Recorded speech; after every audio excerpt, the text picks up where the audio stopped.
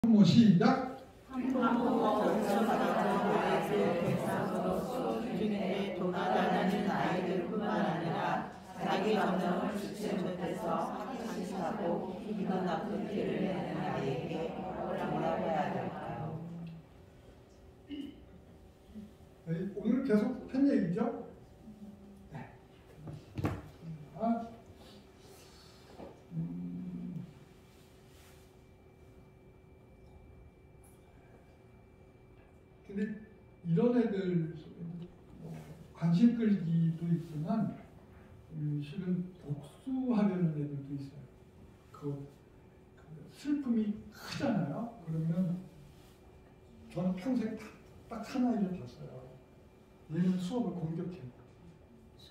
수업을 저- 그 선생님이 뭔가 말 실수하고 하면 정확히 타겟에 타서 냅다 쏴버려.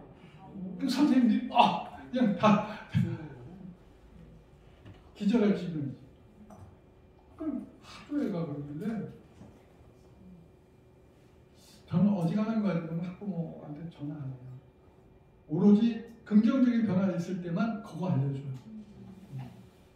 근데 아버님을 만났더니 그 어머니만 통화를 했더니 아버님하고 말씀 나누세요.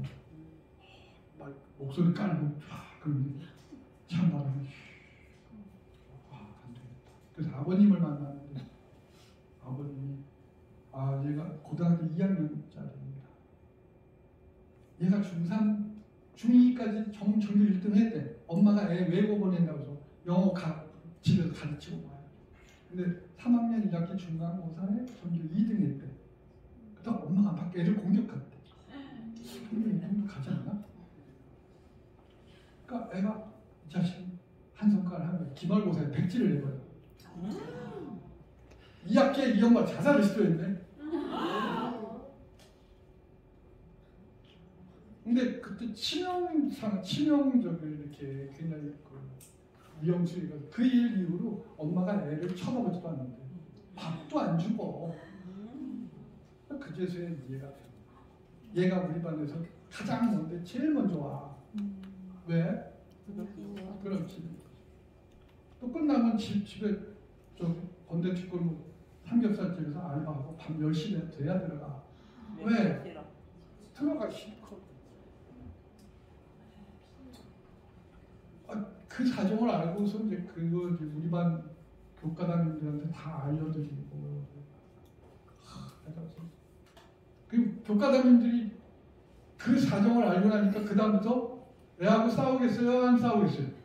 안 싸우지. 싸울 상대가 돼야 싸우지. 이런 지경이면 나 같으면 불질리겠다 진짜. 그 학교 나오는 게 당이다. 아침에 뒷문으로 들어올 때는 사천왕 상의 얼굴을 하고 들어오십니다. 그래서 하루 종일 선생님도 수업 공격하고 오후가 되면 얼굴이 풀려져 있어요. 우리가 우리가 사실은 겉모습만 보고 있다. 그 막 끊임없이 막 토악질을 하는 그 욕을 하는 게 그가의 영혼에 본인도 모르는 토악질일 수도 있다. 그 애들이 낯선 행동 속에. 참 오늘 연수 참 기획 잘한 거죠?